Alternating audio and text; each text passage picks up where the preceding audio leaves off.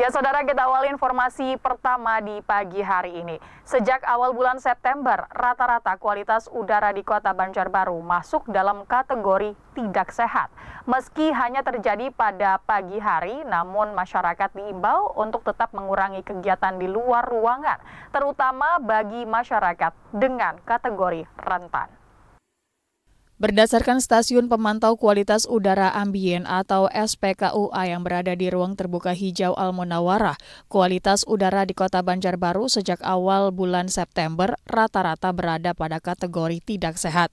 Pada tanggal 14 September, kualitas udara Kota Banjarbaru berada di atas 250 dengan kategori sangat tidak sehat, meskipun hanya terjadi pada pagi hari dari pukul 4 hingga 9 pagi.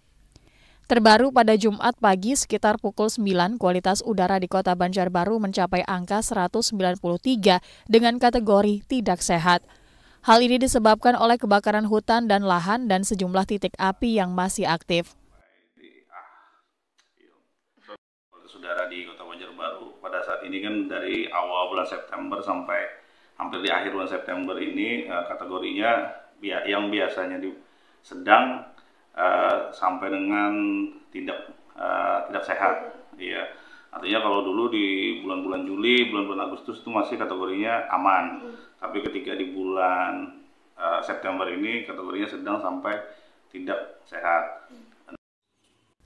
Masyarakat diimbau untuk mengurangi aktivitas di luar ruangan saat kabut asap tebal atau menggunakan masker saat beraktivitas serta segera memeriksakan kondisi kesehatan ke pelayanan kesehatan terdekat jika merasakan gangguan kesehatan terutama pada sistem pernafasan. Nabila Syafa, Kompas TV, Banjarbaru, Kalimantan Selatan.